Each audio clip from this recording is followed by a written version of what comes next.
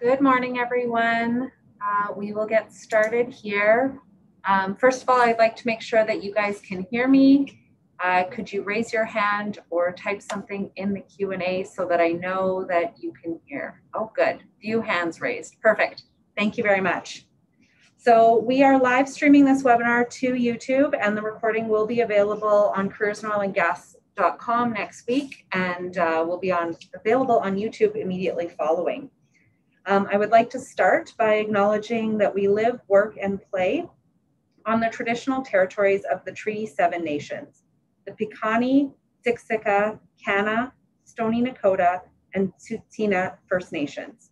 We acknowledge the ancestral territory of the Siksikaitsitapi, the Blackfoot Confederacy, and the home of the Métis Region Number 3. This project is funded by the Government of Canada's Sectoral Initiatives Program and opinions shared in this webinar are PetroLMI's and do not necessarily reflect those of the Government of Canada. So I am here today. I'm Breanne O'Reilly. I'm the program manager for PetroLMI, and I'm here today with Lisette, our analyst, Lisette Cameron, our analyst. Um, I'm going to start by finding out a little bit about who we have on the call today. So I'm launching our first poll there, if you could respond and let us know who you are. Um, the PetroLMI Division of Energy Safety Canada has a mandate to collaborate with industry, government, educators, and training agencies to support and advance the development of a sustainable, skilled, and productive workforce. We specialize in providing labor market, oil and gas labor market data and insights, as well as resources for workforce and career planning to, I'll give it a couple more minutes here, or, or, a couple more seconds, I should say, for you guys to finish the poll there. Um, today's webinar is uh, on parts three and four of our four-part series, where we surveyed Canadian energy industry employees to learn how the COVID-19 pandemic is affecting work practices and productivity. We heard from more than 300 employed and unemployed energy workers from across Canada who completed the survey in August and September. In addition, we interviewed 13 leaders from energy companies. Um, the series, as I said, is divided into four parts, and today we're going through part three, opportunities, challenges, skills, and training, which examines which skills and training energy workers believe are in demand. It also looks at whether energy workers have been seeking employment in different subsectors or industries and part four, the impact on unemployed and temporarily laid off or furloughed workers, which explores the job search and training activities workers have been engaged in, including potential plans should they not be called back to work or be able to find other work. Just end our poll here. So it looks like we have a mix of um, energy industry companies, some government representatives, some educators, um, some nonprofit, and some media. So that is great. Uh, throughout the session today, um, you can ask questions in the chat or the Q&A option. Uh, please feel free to enter them as they arise during the presentation. We will have time at the end for uh, Q&A, but we may address throughout if your question relates specifically to some data or or information point that we have on the screen. So the following slides will be comparing the demographics of the unemployed respondents to the employed respondents. So you can see here that um, it was very similar, our unemployed respondents versus employed. Company representation um, was unsurprisingly focused in Western Canada where most industry activity takes place, but we did uh, achieve representation across Canada. Um, I'm looking at the green bars here. Uh, so you can see that we heard from more unemployed workers from drilling and completions than employed workers. Uh, we know this subsector was particularly impacted by the downturn. Uh, we also heard more from oil sands workers. Uh, this workforce consists of a lot of contractors, so it's unsurprising that they may have lost their jobs.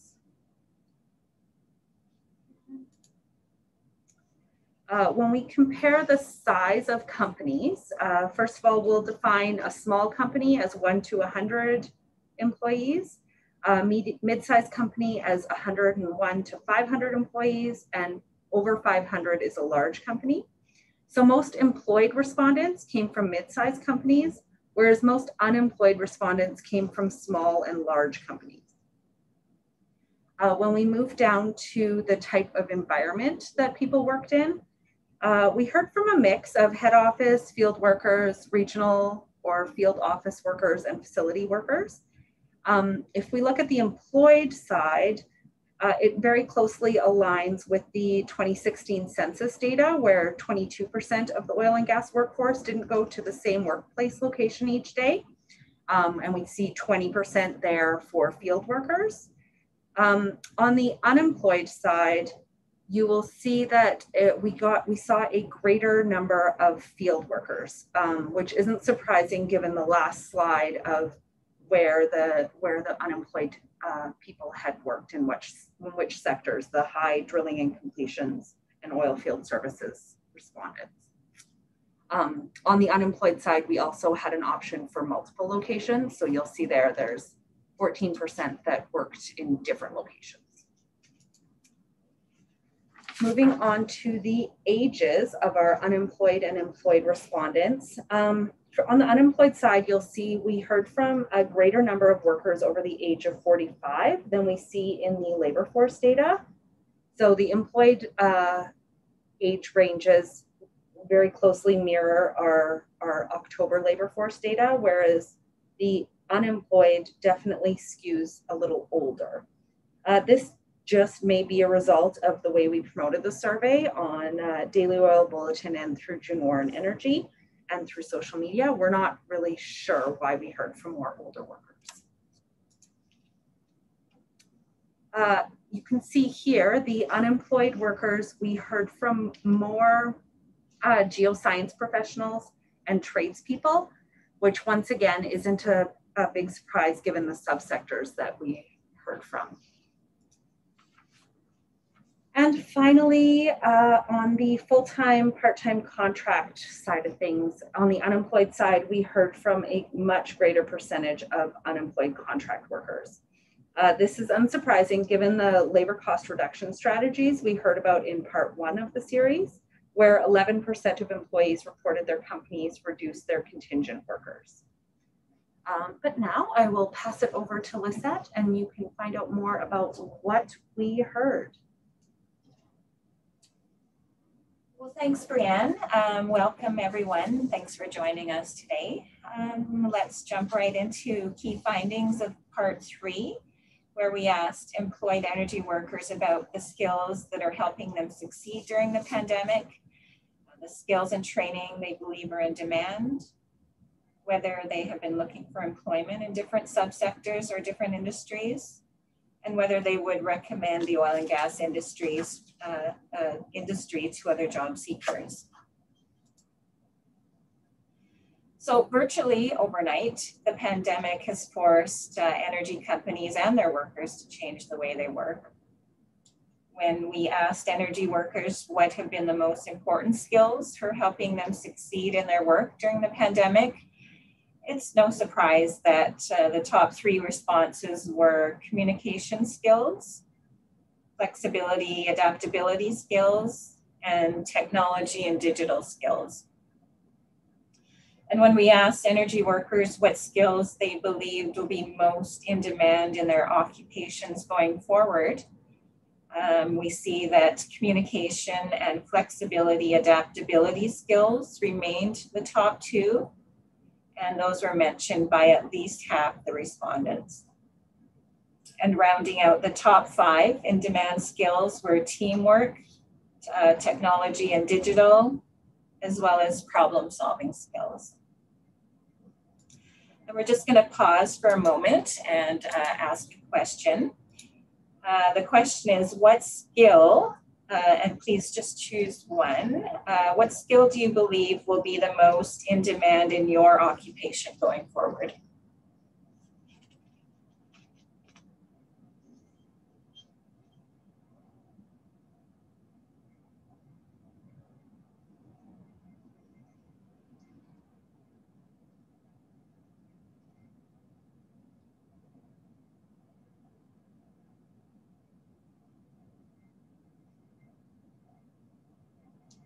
Give it another second here.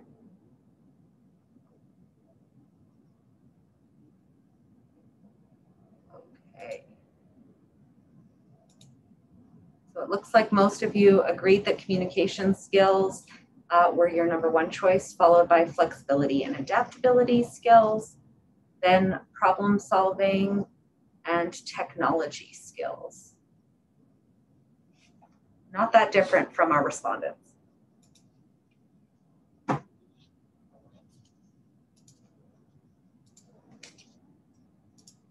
Okay, so uh, we also have the opportunity to ask leaders from energy companies what sort of longer term skills they're seeing. Um, our report includes lots of interesting comments, um, but here are a few. One company said they are focusing on technology training and training around managing change and building resilience. Another said success requires interpersonal skills now more than ever. And another said that there has been an ongoing shift to require more project management, diversity, and digital skills. So some, some interesting comments from a variety of, of uh, energy leaders. So training and upskilling are key for workers to stay on top of uh, changing demands in the workplace. And when we asked energy workers if they had participated in any skills upgrading or cross training since the start of the pandemic, just over a quarter of respondents said they had. And we do see some differences by company size. 33% of those from medium sized companies uh, said they participated in skills upgrading or cross training, compared to 19% from large sized companies. Uh, some of the training mentioned by those uh, that work in exploration and production companies included project management courses, training in completions operations, and uh, chartered professional accountant exams. Uh, oil sands workers mentioned mechanical engineering courses, specialized mining application training, uh, as well as IT certification.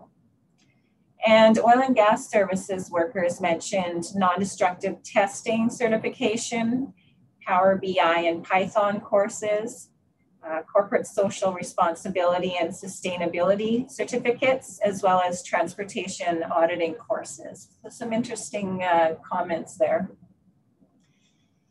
Now looking at the chart on the right, one in five workers said they had been redeployed into new roles or assignments since the start of the pandemic. And uh, some of the new roles and assignments mentioned include um, more active uh, on site meetings with Indigenous groups, uh, participating in completions operations. Uh, one respondent said they had to take over admin duties of their assistant uh, that had been laid off. Uh, another moved from operations manager to facilities manager. And then another was in asset exploitation prior to the pandemic, um, but is now focused on business development and new play prospecting.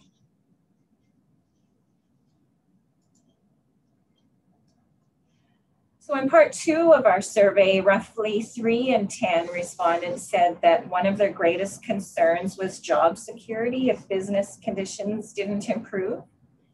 So it only makes sense then, uh, as the impacts of the pandemic continued through the summer, that some workers were looking for other job opportunities. What we found was 17% of energy workers said they were actively looking for a different position or occupation uh, as a result of the pandemic.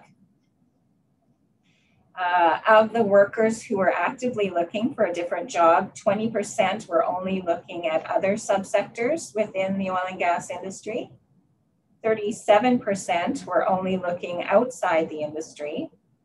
And 43% were looking both in and outside the industry.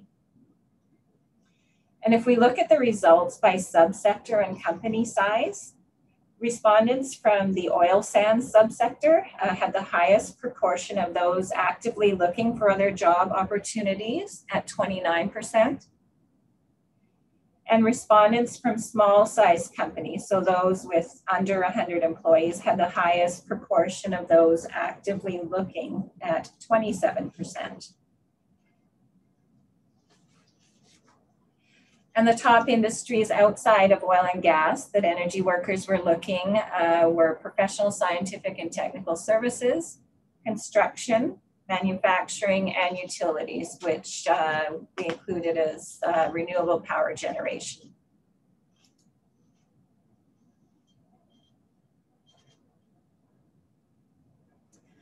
So boom and bust cycles have long been a reality of working in Canada's energy industry. And before the onset of, of the pandemic, uh, direct employment in the industry had fallen by about 23% from August in, of 2014 to February of 2020.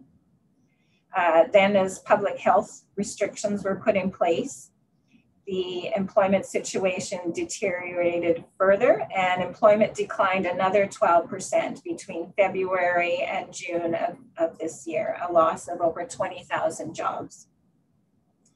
So with that in mind, we asked energy workers how likely they were to recommend working in oil and gas to others seeking a career in the industry. Overall, uh, 47% would still recommend the oil and gas industry to job seekers despite its volatility. 21% were neutral, and 32% would not recommend it. If we look at those uh, likely uh, to recommend the industry to others, those aged 55 and older were slightly more likely to recommend the industry at 53% but otherwise there wasn't much difference uh, amongst the other age categories. And if we look at those likely to not recommend the industry to others, those aged 35 to 44 were most likely to not recommend the industry at 41%. And then we, uh, if we look at results by company size, those from medium and large companies were more likely to recommend the industry to others at 50%. And those from small companies were more likely to not recommend the industry at 40%. So I'm going to pause again for a moment. And our question uh, to you is How likely are you to recommend the oil and gas industry to others seeking a career in the industry?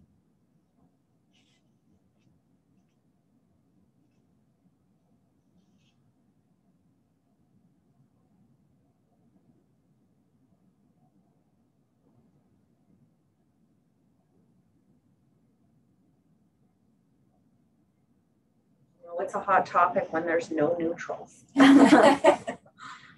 oh, had to prove me wrong. Give it a couple more seconds here.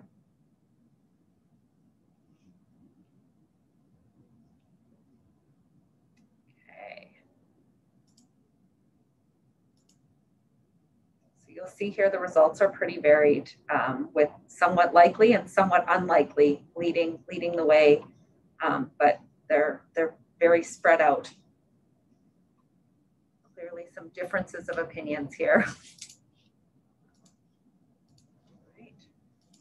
All right, we will move on to part four, um, which uh, focuses on unemployed and uh, temporarily laid off or furloughed energy workers. Uh, we look at the length of unemployment, uh, the job search and training activities workers have been engaged in, uh, including potential plans should they not be called back to work or able to find other work.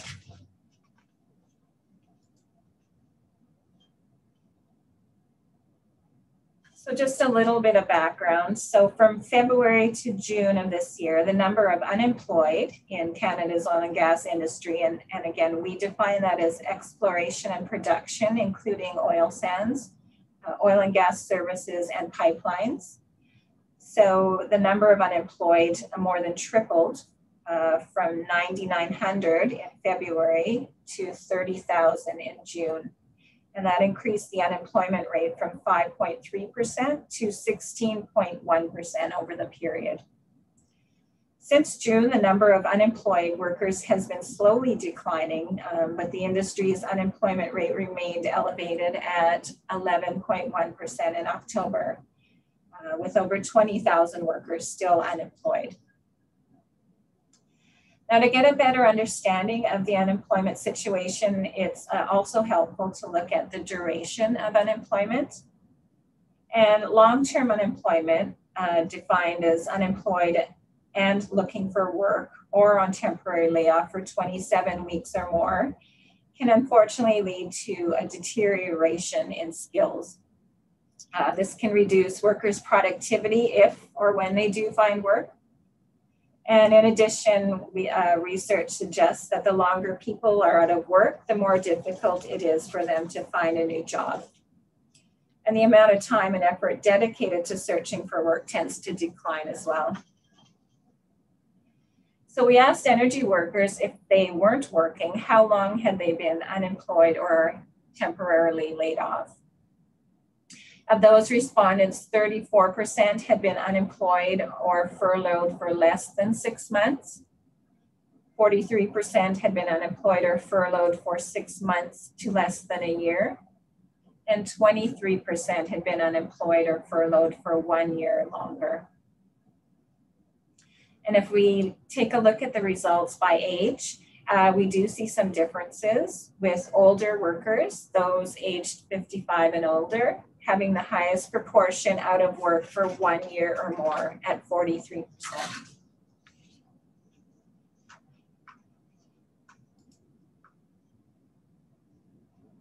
So with the longer term persistent downturn in the energy industry, uh, along with the pandemic, unemployed workers are exploring ways to redirect their careers. 94% uh, of the unemployed energy workers surveyed said they were actively looking for employment. And of those that were actively looking, 18% said they were only looking within oil and gas. 6% were only looking outside the industry. And three quarters were looking both in and outside the industry. And the top industries outside of oil and gas for these active job seekers were construction, professional, scientific, and technical services, mining and quarrying, utilities, as well as manufacturing.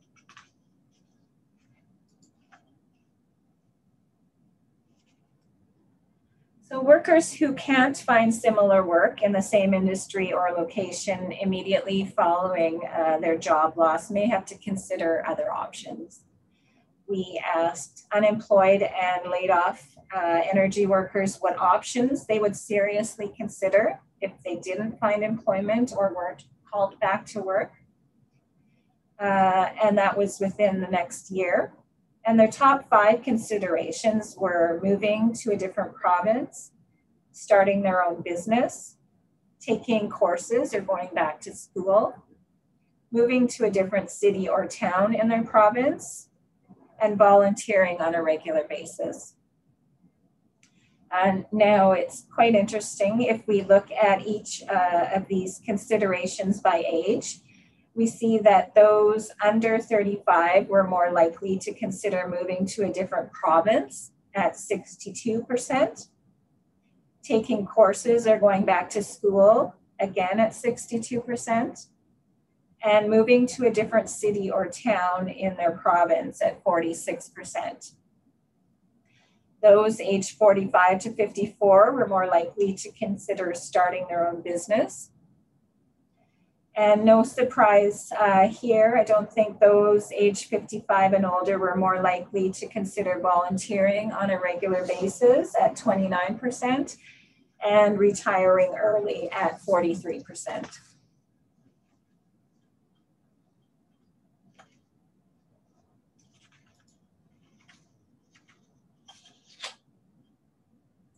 So with over 20,000 oil and gas workers across the country still unemployed in October, uh, with the onset of the second wave of the pandemic uh, across the country, and with nearly one in four of those uh, surveyed saying they had already been unemployed for one year or more, it is definitely no surprise that many unemployed and furloughed workers feel frustrated and discouraged.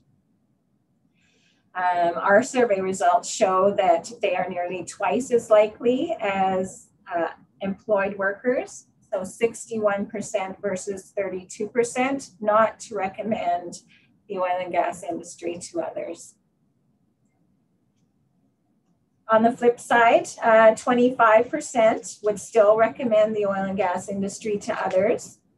And a few comments uh, from these respondents mentioned optimism in opportunities around liquefied natural gas, geothermal, helium, and lithium.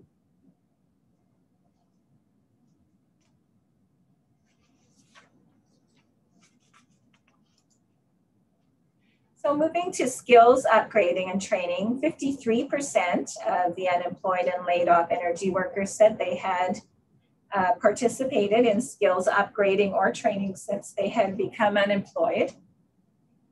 And the top skills they were focused on develop on developing mentioned by a third of respondents or more were project management skills, technology and digital skills, communication, leadership, and analytical skills.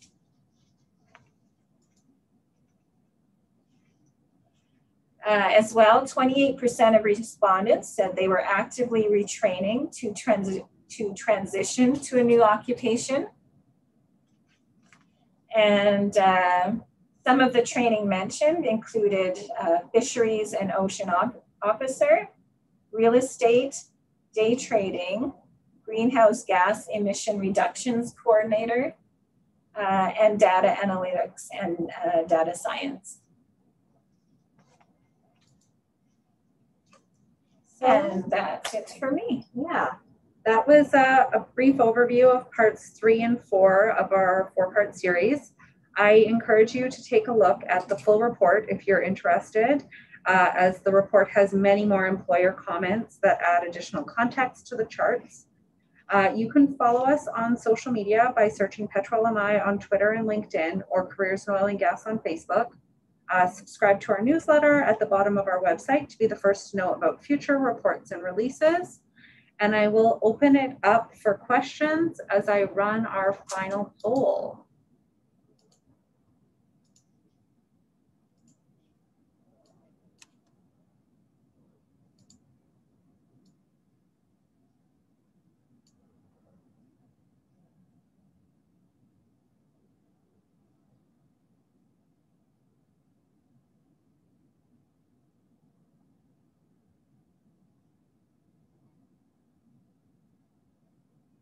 Should mention also as a, as we wait for some questions to come in and for you guys to finish that poll, um, if you have any specific data requests or you're looking for information about only mid-sized companies or um, a certain age demographic, uh, you can definitely email Lisette or myself. Um, that's why our email addresses are on this last slide, so you have easy contact, um, and we would be more than happy to help you. Not looking like we have any questions today. I think that means that we answered all of them with our very thorough slides. oh, jinxed myself. So the question here is, were we able to get any disaggregated data on women versus men or other equity groups? And the answer is no. Um, we didn't we didn't break down the demographics that way. It's a fine balance between asking too many questions and uh, and making sure that people are engaged the whole survey. So um, we, we, would have liked to have gotten that data, but uh, unfortunately we didn't.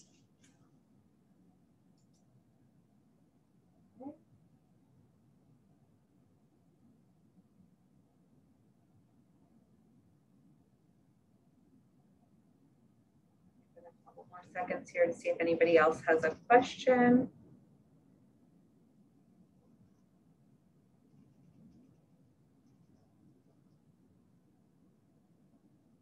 It doesn't really look like it. So, oh.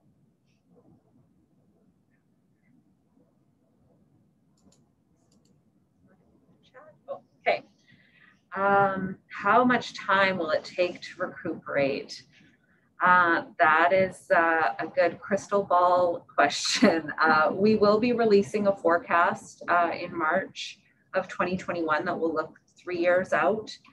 Um, it is looking like 2021 will likely be a rocky year for the oil and gas industry um, at best. Uh, so we're probably we're probably a year out from recuperation, but uh, I think it will depend on the subsector as well. Um, I think a lot of the cuts that have happened in exploration and production companies are due to restructuring and mergers and acquisitions. So those are likely um, permanent restructurings. I don't think they're they're readjusting or resplitting uh, apart if it was a merger. So um, yeah, some of the jobs lost are, are likely lost for longer. Um, but the services sector is fairly responsive. So as soon as there's the opportunity to increase uh, activity, then they would pick back up quicker.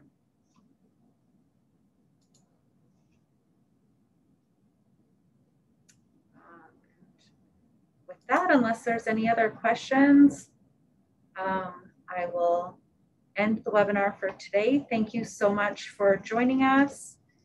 And uh, yeah, I, we don't have another webinar scheduled at this point, but you can follow us on social media and subscribe to our newsletter. Uh, we do have a, an Indigenous report coming out um, before Christmas, and, and we'll have some other labor supply data available in the new year. So thank you very much for attending.